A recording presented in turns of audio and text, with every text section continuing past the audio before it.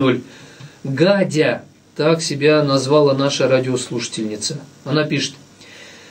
Моя невестка выразила желание общаться откровеннее. Восьмой год они вместе, детей нет, они в кризисе. Он изменил, это был почти детский поступок от упрямства. До этого мы не общались. Э, так руководил сын, видимо, считая, что это удобнее – у меня вопрос, как теперь общаться с невесткой? Ей трудно переживать все это, но к Богу ей трудно еще повернуться. Спасибо, Гадя, за вопрос. Общайтесь с вашей невесткой так, как она этого хочет. В смысле? Хочет она целый час говорить, общай, э, слушайте ее целый час. Задавайте ей вопросы уточняющие.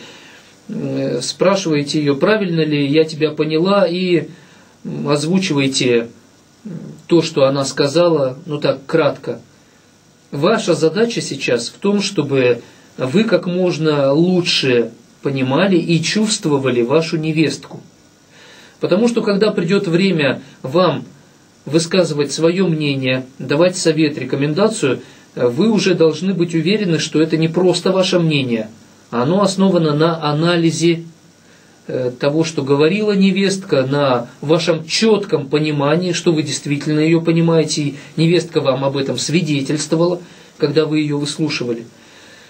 Возьмите, ну, по крайней мере, пару недель и не берите инициативу в свои руки в разговоре, наоборот, э, будьте ведомой. Пусть она будет ведущая, а вы ведомая.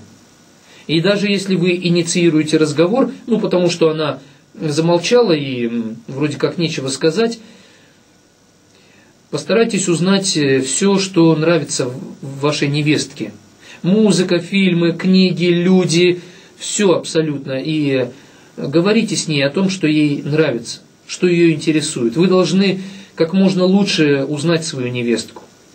Говоря с ней о разных сторонах жизни, о ее интересах, вы начнете лучше понимать и своего сына.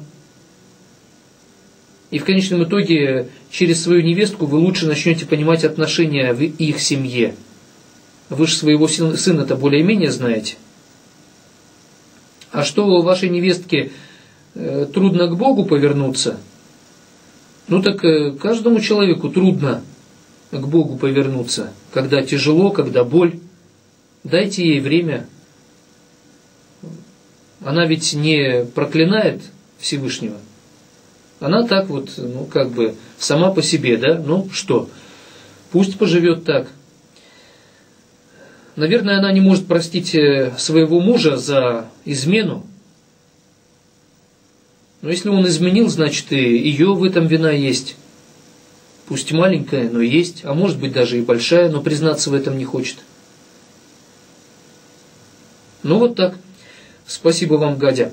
Прямой эфир «День добрый», я его ведущий Евгений. Не только отвечу на вопрос, но и дам практическую рекомендацию.